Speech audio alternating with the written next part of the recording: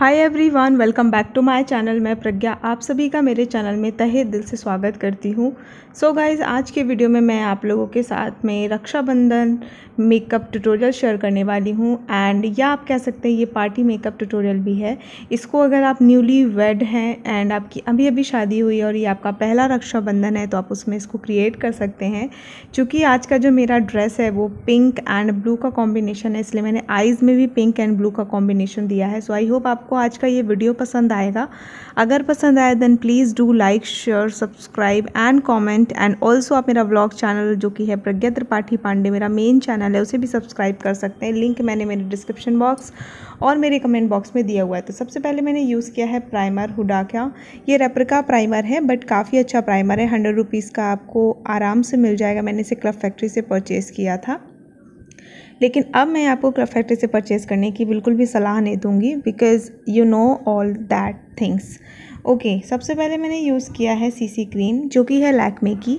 ये काफ़ी अच्छी मूस फाउंडेशन की तरह वॉक करती है। एंड आप इससे अपना बेस मेकअप बहुत ही फ्लॉलेस बना सकते हैं। मैंने आज कोई भी फाउंडेशन नहीं यूज़ किया है। उसके बाद मैं यूज़ करी हूँ कंसीलर ये है एन वाई बे का कंसीलर और आर्गन ऑल कंसीलर है। काफ़ी अच्छी तरह से वॉक करता है और इसकी पिगमेंटेशन भी बहुत अच्छी है।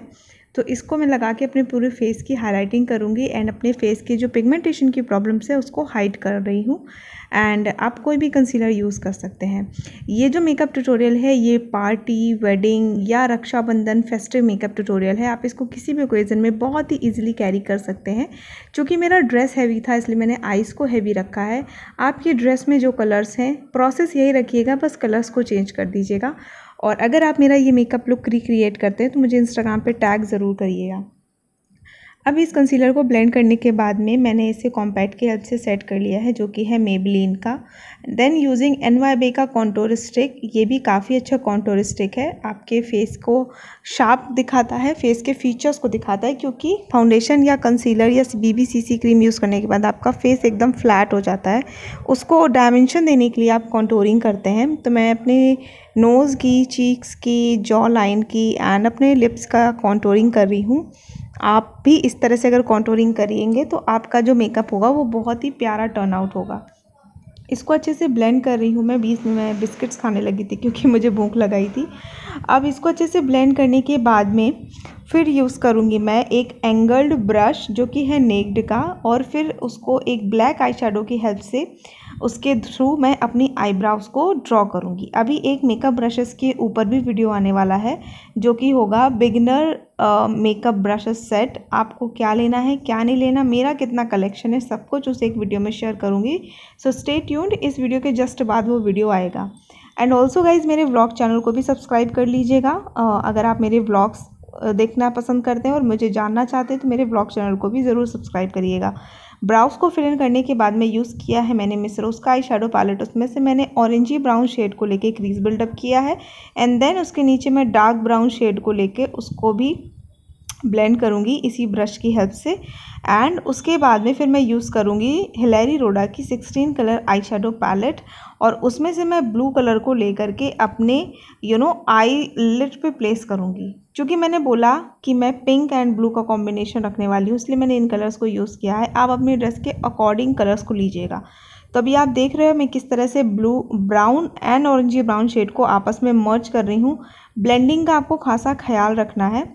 और इस जो ये पैलेट मैं आपको दिखा रही हूँ, ये काफ़ी अच्छी पैलेट है, टू हंड्रेड रुपीज़ की है, इसका पिगमेंटेशन ओएमजी वाला है।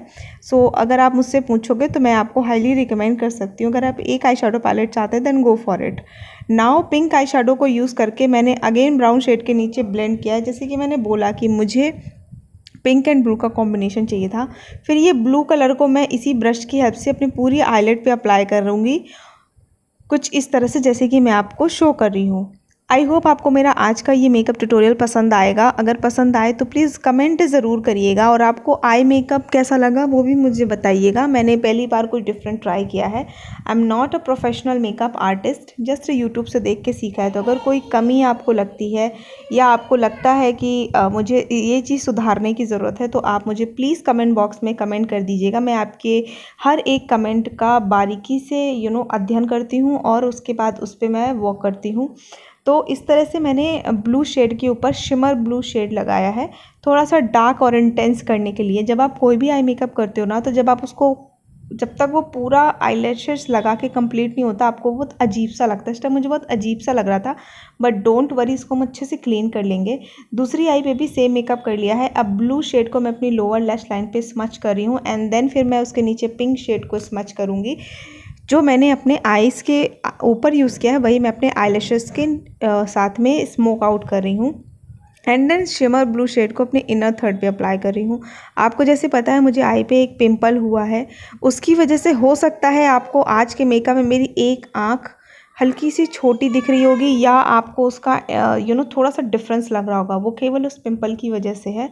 आ, तो इस तरह से मैंने आपने कलर्स को मर्ज किया है। देन यूज़ करूँगी मैं ब्लैक आई शेडो जो कि है लैकमे का insta liner sorry eye shadow नहीं eye liner black eye liner इससे मैं अपनी लाइनर को ड्रॉ किया। And then false eye apply कर लिया है।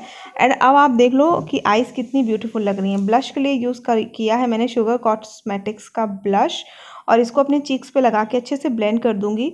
और ये जो ब्लश है, ये काफ़ी पिगमेंटेड है तो आपको बहुत ही ध्यान से इसको अप्लाई करना होता है। हाइलाइटर के लिए यूज़ कर रही हूँ मैं वेट एंड वाइल्ड का मेगा ग्लो हाइलाइटर। और इसको अपने bridge of the nose my you know cheek bone forehead क्यूपिक्स chin इन सभी जगह लगा के इसको अच्छे से ब्लेंड कर दूँगी। और, जब आप हाइलाइटर लगाते हो तो उसको अच्छे से ब्लेंड भी किया करो अदरवाइज़ वो अलग से दिखता है। तो ब्रश या फिर फिंगर की हेल्प से आप उसको ब्लेंड कर सकते हो। Now using N Y B का ये वाइट पेंसिल काजल है बट इसको मैं एज अ हाइलाइटर यूज़ करती हूँ अपनी ब्राउ बोन एंड मेरे इनर कॉर्नर्स को आइज़ की। आप इसको एज अ हाइलाइटर भी यूज़ कर सकते हैं। एटी या सेवेंटी के बीच में आपको ये पेंसिल मिल जाएगी। काफ़ी अच्छी तरह से वर्क करती है। सो so, मुझे काफ़ी पसंद है तो मैं इसको इस वे में यूज़ करती हूँ। आप जैसे चाहें उस तरह इसको यूज़ कर सकते हैं।